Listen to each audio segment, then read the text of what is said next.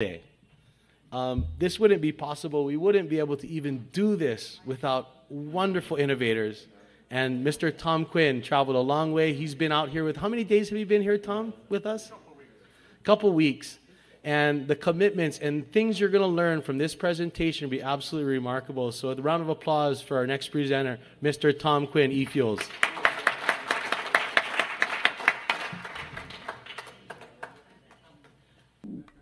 I'm going to introduce something to you uh, during this presentation that I did at Stanford University in 2018.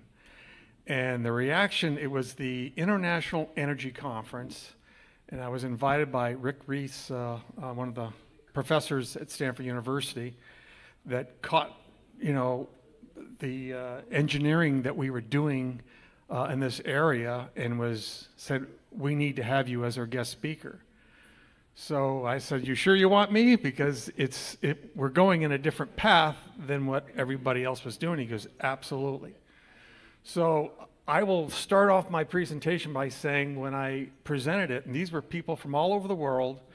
Uh, it was first shock of what I, you know, I'm about to tell you people and show you people. Uh, it was also some anger because uh, when you have a market like energy, which is $5 trillion uh, and you disrupt that market, people get angry, you know, because their livelihood and the strength that their, uh, their corporations rely on it. And, and, we all know that. When you're fighting uh, energy, I mean, that's, that's a big monster to fight, all right? But the, the end word was they were uh, excited, they were motivated that they had, and I'm going to announce today, uh, a renewable energy source, which is the largest in the world, that nobody knew about, existed. It's not only renewable, it's carbon negative, and it's free. And anybody can use it. And that's what I presented there. So, where's my little clicker? Okay, so uh, we're going to talk about carbon negative. Uh, everybody's heard about carbon uh, or carbon neutral, all right? And if you thought, okay, let's freeze it right now and we're neutral, we don't go backwards, we don't go forward, does that really accomplish anything? It can't, all right? So we got to go carbon negative. We got to quickly reverse, you know, what's going on in the energy and the planet quickly. So, but let me give you my background first so you know that I have been down this path before, and I want to tell everybody that, you know, you, this is probably the first time you met me, but every one of you owns my technology, and I will walk you through it.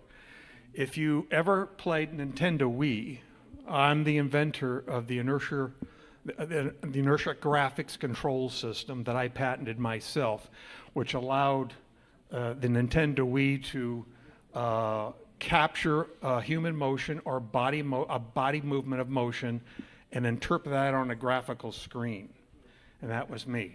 Now, you also have that when you go to uh, Google Maps, Apple Maps, and you're driving your car and you see as you're moving your car, the graphical screen is changing. Uh, that's me.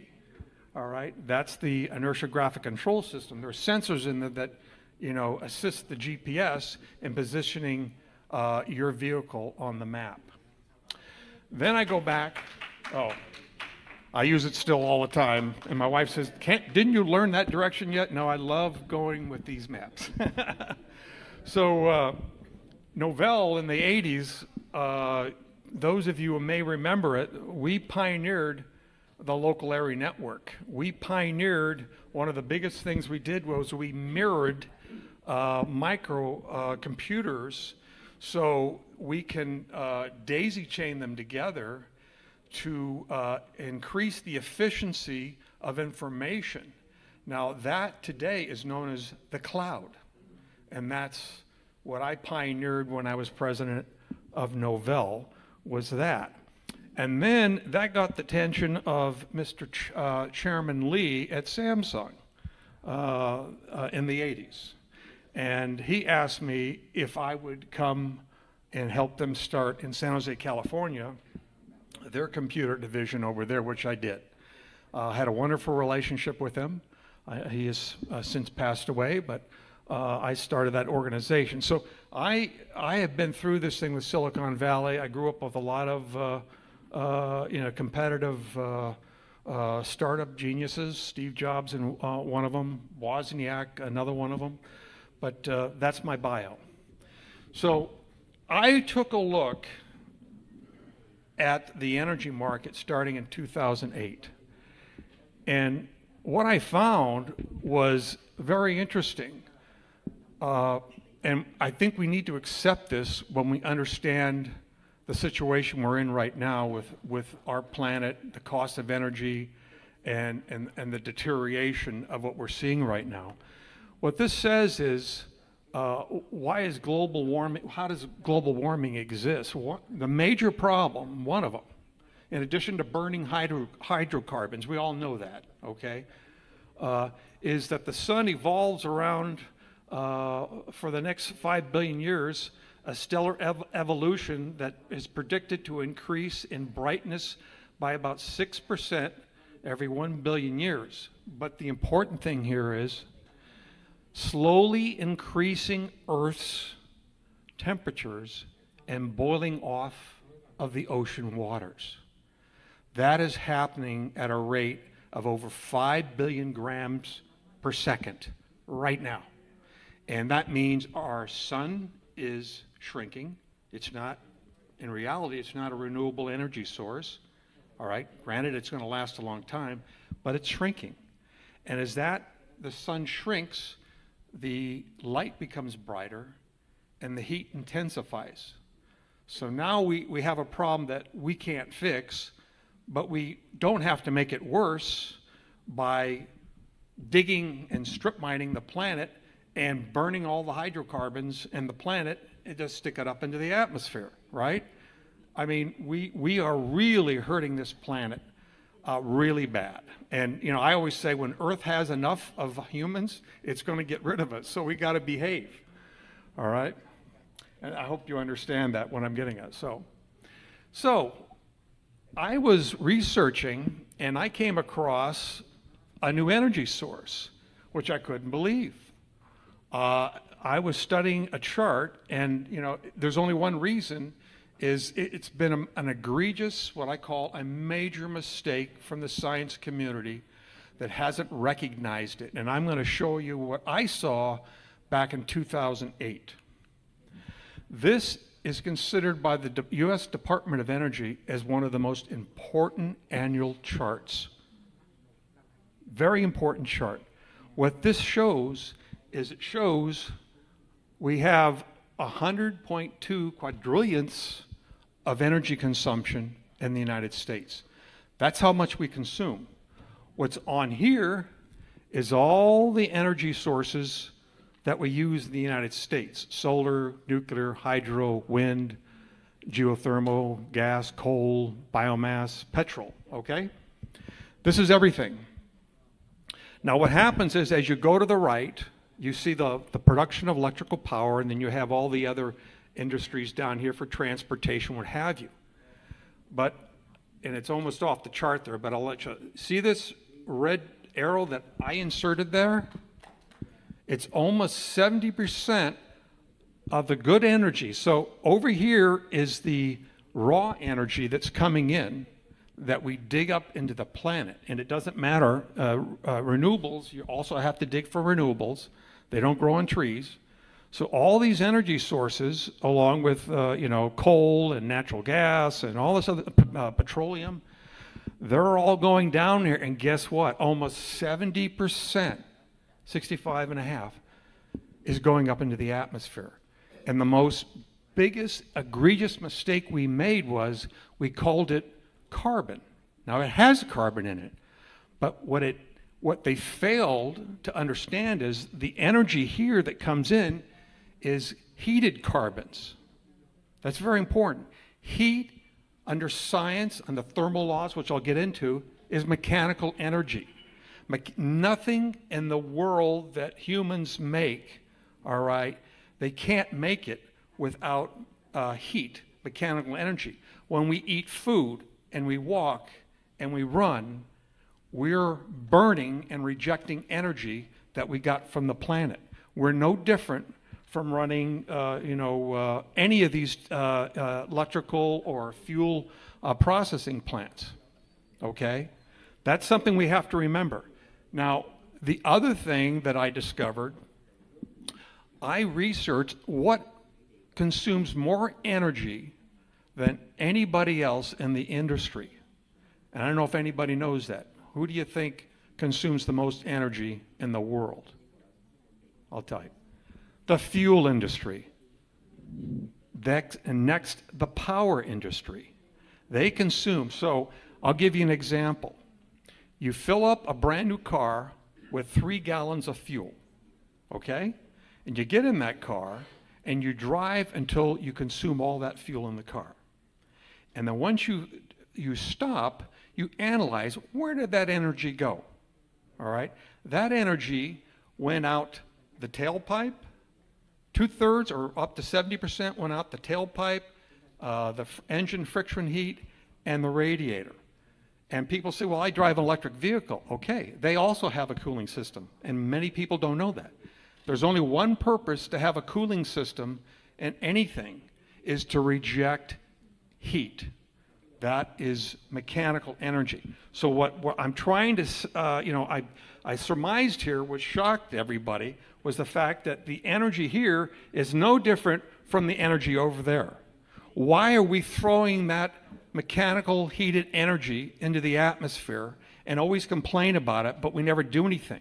The simple technique is to take that over here and loop it back to here. It's perfectly good energy. And I hope everybody understands that. And I can, I can take further questions tomorrow during the Q&A. So, if we listen to our previous scientists, now there's what we call in fifth and sixth grade, they actually teach this in elementary school. They teach the laws of thermodynamics. And if we adults had to listen to it, what it says is uh, the, uh, the the first is on the law is energy cannot be created or destroyed, but can be transferred from one form to another. Right? So that means we, on that other chart, going back, all right, remember this? We thought we destroyed this energy, so we called it waste. But in reality, it wasn't waste. It was good. Why? Because the laws tell us humans can't destroy energy. It can only transform it. That's very important to realize. Okay? And the second law of thermodynamics says unless thing, uh, hot things will cool unless you do something to stop them, right? So what the law, and this started in the 19, uh, 1500s. This is not something that was recent. These laws go back to the 1500s as they massaged them along the way. People were saying, you know, they were studying energy. So we have made one egregious mistake is thinking that, all right, we're injecting carbon into the atmosphere. All right, that's not all we're uh, injecting. We're rejecting heat, mechanical energy. Okay, so the next thing is if you take that heat, right, and you use it again instead of throwing it up in the atmosphere for uh, mechanical energy to move an automobile to electrical power generators, right? That becomes carbon negative because the point is right down here, and this came from the federal government. Carbon negative means you remove more carbon dioxide from the atmosphere than you emit.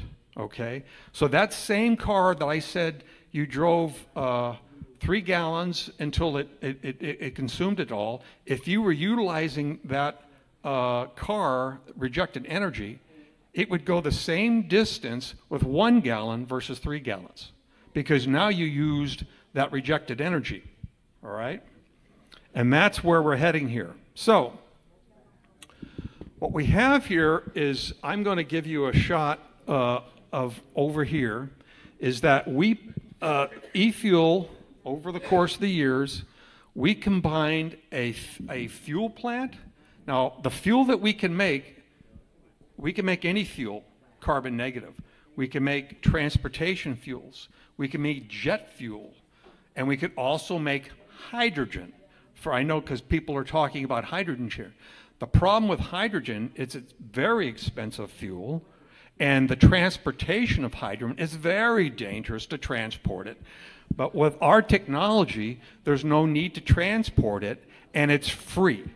Because if you use rejected energy, all right, if you're producing power to the community and you're taking the heat from that generator and you're making hydrogen fuel, now that becomes a byproduct of a carbon negative hydrogen fuel. Okay? That's very important. If we want to get into hydrogen, we have to solve it. And the fact that the efficiencies uh, in our, what we call the rejected energy reactor system, is very small, which allows us to be portable. We can make hydrogen on demand, and by the way, we can make hydro, uh, we can make dry ice uh, on demand. Okay, because now with learning this that's been going on for 120 years, right? This this very serious mistake we've made as as as a hum, humanity, we can now take this power. We can take the carbon and the heat and we could make additional energy at zero cost, and we can provide products like uh, Kinoe was talking about. Now we have a free source of not only carbon, but we have a free source of energy. All right? And uh, I'll be more than happy to get into that and, and deeper uh, in tomorrow's discussion.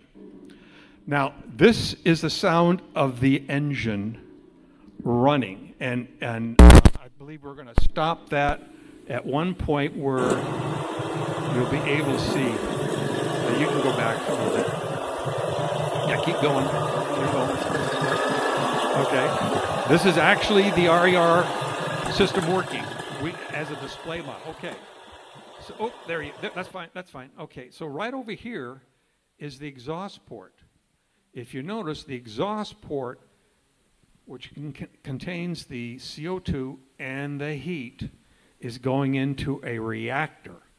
And that reactor separates the heat so you can make fuel right there. The, the fuel plant's right behind it. You don't have to show it, but there's a fuel plant right behind it. So what happens in this is we fill it, okay, with uh, uh, fuel, and then that fuel then uh, uh, we trap the rejected energy coming out and we make more fuel with it. So now we're making two thirds or up to 70% less fuel, right, than we put in. Now, does anybody catch what's going on there? If you implement this technology in a $5 trillion market, you wipe it out. Because for 120 years, we've been discarding this energy into our atmosphere, wrecking the planet, okay? And the worst part about it, and we don't talk about it enough, is we're strip mining this planet like it's a dead planet. And anybody that goes out and looks at what we're doing to our planet, uh, and I hate to say it, but some countries in the Pacific are now using amphibious tractors under the ocean to dig out carbons, right? I mean, we've gotten to the stage now that we've depleted a lot of the uh, cheap uh, uh, hydrocarbons on the top of the planet. Now we're going into the ocean for it. And are we expecting anything good to happen out of that? I don't think so. Just more death to the ocean, right? So, uh, you know, I want everybody to understand that if you don't, I hope to have a chance to talk to you more as we proceed. Now, photosynthesis. People ask me, well, how do you, uh, we term ourselves that we take carbon and we, we convert it into oxygen. And I've had PhDs and scientists, you can't do that. That's impossible. It, does, it can't happen. I said, wait a minute. Let's go back to fifth grade again. In elementary school, we learned what does photosynthesis do? Photosynthesis takes the carbon from, the air, uh, from our atmosphere, right? And it produces what? Sugar. And that process of taking carbon and producing sugar, okay, is the carbon negative, but it's also the only reason why any living thing on the planet exists because of plants. Plants are critical to our life, and we have to really protect it. So when you talk about Hawaii, I know there's been a lot of discussions. I've talked with the group here from DIBS. They understand it. There's been uh, depletion of the soil on this beautiful, these beautiful islands, one of the most fertile soils in the world, right here in the state of uh, Hawaii. All right, but they have been, uh, you know, abused and abandoned. Okay, and one of the things I've learned recently from the folks here is that if you leave the land alone, it comes back. Right? What does that tell you? Well, the humans are destroying what we had a blessing from to have, you know, the ability to grow uh, nice uh, food and, and other types of plants and trees, oxygen, right? We need oxygen, okay? That's another thing. And this is also a statement. It shows you right this this right here, I got it from the federal government. It's the largest renewable energy source on the planet, right? And we've been ignoring it. No one's given attention to it. Instead, we go out, we build things, call them renewable, but this is the true renewable of what we need to be focusing on. Okay? Now, this is another topic. What are we going to do without oil? People say, let's get rid of oil, let's shut it down. You know what? We don't have to, because guess what? We're running out. People don't understand that. Most of all the major productions from the Middle East, the United States, to Russia are injecting water under the ground for these oil pumps. And if anybody in science understands what that means is they don't have the pressure anymore to bring that oil from below the ground up to the surface. All right? That means we're running out of oil and we're running out fast. When President Biden went to the Middle East and says, pump me more oil, they came back and said, we're at a limit. In fact, if anything, we're going to start reducing. And what happens and what we're seeing today is we're running out of oil. It's not because we want to get rid of oil, oil's just running out. So it's one of those things, watch what you wish for because it's going to happen whether we like it or not. All right? We got to get smart real fast and get fuel. And, and, and I'm, and this is important. Nothing manufactured in the world goes without fuel. Fuel touches everything. Okay? Now, we believe in an organic fuel. All right? And we can make the fuels we need for aviation, we can make the fuels for transportation, for power generation. We can make them from all the three major industries. All right? But we got to get smart and we got to get smart quick because I'm telling you, uh, it's going to get worse. And guess who became the largest uh, corporation? It used to be Apple Computer. Now, who is the largest corporation in the world? Aramco, Middle East Oil, right? Once we went into this energy crisis where everything shot up, it's because the demand is there, but the quantity, the volume isn't there. This is telling us a warning sign danger, danger. Even if we wanted oil, we're not going to be able to get it to meet our growth in the future. So action has to be taken quickly and now. And so this is a slide that, you know, this is what it looks like for uh, mining for minerals, and it could be anything. You know, it, it you know minerals could be in for for uh, lithium. It could be for anything. All right, but we're we're damaging the planet. All right, and nobody ever sees this. All right, I mean it, it's just terrible what we're doing to it. All right, so what happens? What happens when eFuel implements this on Hawaii? We're going to implement, implement this. Hawaii will be the first one and a major. We have an agreement between uh, an annual production rate of the first systems to come there, 7 billion watts. Okay? That's going to make a dent in Hawaii. Okay? Very fast. But what happens is, what can we expect here? Okay? We're going to push the cost of energy back to the 60s on Hawaii. Remember that. Exactly. This is a shot, obviously, from the 60s. Not only the power, but the fuel. You will have the lowest cost fuel in the United States, if not the world, when you implement this. Because guess what? We're going to use that rejected energy against the energy industry. It's a free weapon that's been at our disposal. We just haven't used it. Okay? So this is going to be a very exciting time for us, uh, you know, to watch this transition. And, you know, it's, it's really not a renewable energy product. What we're doing is we're just being smart. We're saying we're tired of wasting good energy and we're going to use it. And we're going to use it against the power industry because that means every time you use rejected energy, you're not taking more fuel, you're not taking more power to make that, you know, uh, the fuel to make the power, all right? It goes in reverse, all right? And that means you're going to see a major power reduction. So we did a little, uh, you know, with my chief technical officer, we did a little uh, napkin at, at, at uh, I think it was a Mexican restaurant uh, uh, not too long ago. And we said, all right, let's look at Hawaii. Let's look at the islands here. Uh, the islands are, are consuming about nine and a half trillion watts of, of energy, okay? It's a lot. It's a big number, okay? And so if you were to take uh, on a biomass energy basis, it would take you about uh, 6 million tons to go completely carbon negative on the islands.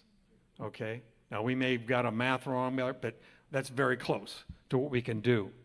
All right? So, and what better place to do it than with all this fertile soil? And as we've already talked about, we all know what carbon can do for our lands, okay? Like was mentioned, the dry ice, the baking sodas and products and all that other stuff is available to us by putting this uh, technology to work. These are shots of eFuels uh, products. This is one, uh, it's in Australia, South Wales, and this is our farming product where it takes uh, helps the farmers water and it captures the carbon and takes the carbon and puts it into the water so it goes directly into the plants. This is a product that uh, has been very popular through our years. It's called a microfueler. It's, a, it's actually a fuel plant. You know, it's a microfuel plant. And we've sold them all over the world. And that technology is the base technology that we're using uh, to make the reactor so we can uh, produce fuel as we produce electrical power. So, uh, I already went through with this with you in the feedstocks and stuff like that. And that's it. Thank you for my time.